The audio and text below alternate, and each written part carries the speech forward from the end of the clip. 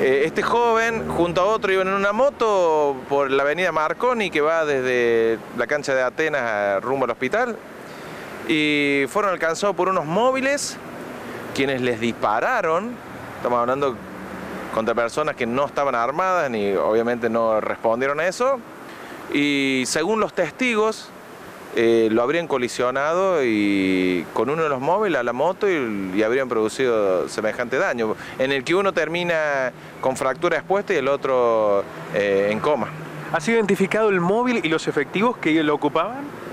Eh, el móvil, los datos los aportamos a la Fiscalía cuando hicimos la denuncia porque es la gente que se acercó al hospital porque había personas en, en autos en las esquinas del semáforo que terminaron agachándose por los tiros, había otros caminando, había remiseros y se acercaron y le pasaron los datos porque no tenemos otra versión.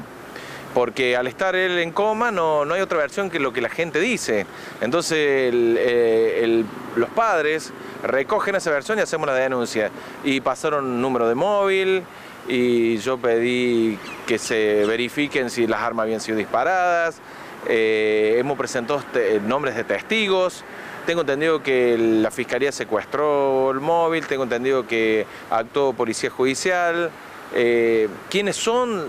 Va a surgir fácilmente de los libros de guardia de, de la policía. ¿Esto pudo haber sido un accidente producto de la persecución o usted cree que hubo negligencia o un exceso en el uso de la fuerza por parte de la policía?